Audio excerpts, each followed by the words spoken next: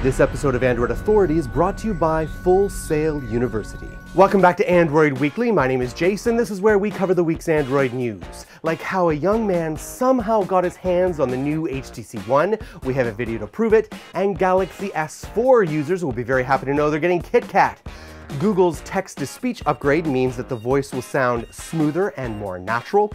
Good for me, because if I have to continue to suffer Google Now's harassments, at least she'll sound more human while doing it. Jayce, they want your autograph. I doubt that. They think you're Gru.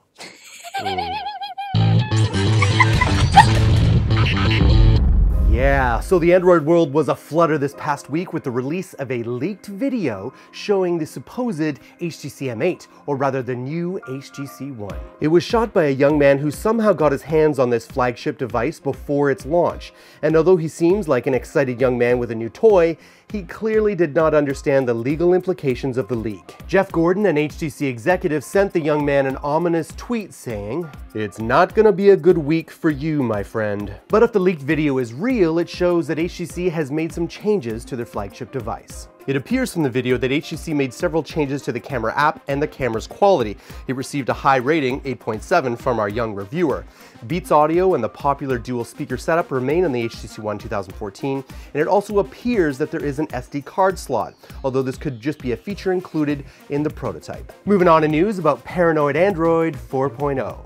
The team behind Paranoid Android recently announced that it was killing the Halo multitasking system, but it turns out the team had larger plans for Paranoid Android. Almost everything in the ROM is being redesigned to fit the team's vision of what makes a great ROM based on stock Android. One of those added features is Pie, and it will be updated to fit the same aesthetic as the Google Now launcher.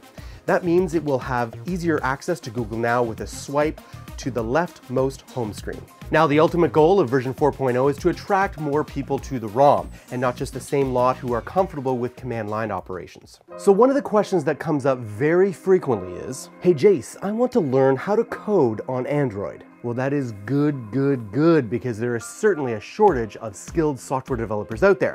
The concern is, is that if you try and teach yourself, which some people do with success, but it is the most frustrating, painful route. And those who do succeed often have their first app looking something like this. That's why I was genuinely excited to have Full Sail University join us because they help deal with this very challenge. In this degree, you'll learn both the programming and business side of mobile development so that you can develop and market an application from start to finish. You'll explore advanced programming languages, visual frameworks, usability principles, and app deployment for both iOS and Android. Students also receive a MacBook Pro with all the industry tools they'll need.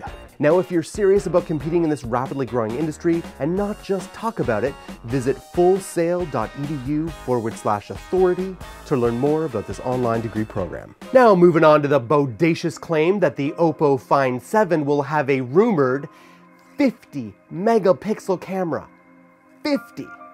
Perfect for those of us Android users who want to point our camera to the sky to help find water on Mars. According to a post on Weibo, the Oppo Find 7 will have a 50 megapixel camera. Apparently, Oppo has already posted a sample photo to prove it with a massive crop factor. The Oppo Find 7 is scheduled for an official announcement on March 19th, so we are right on track for leaks and teasers. Oppo has already teased a 5.5 inch 2600 by 1440 display, and leaks have suggested it will have 3 gigabytes of RAM and a Snapdragon 800 processor. Not a bad phone at all. Now, it was believed that there would only be a 13 megapixel camera, but now we believe or we wonder if Oppo has seriously stepped up the specs to outdo any of the competition. Thanks for watching Android Army. My name is Jayce. You should know that we have been sending out those t-shirts to our Android Q&A winners.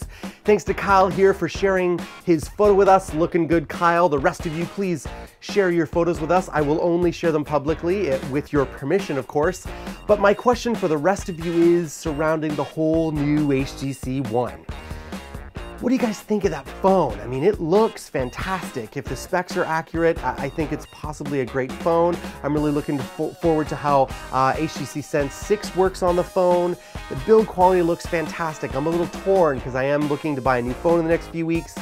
What should I get? You know, I was tossed between the Nexus 5, the Moto X, and now maybe the HTC One, uh, but it's five inches and I would prefer something a little smaller. Let me know in the comments below what you think. I shall see you next week on Android Q&A.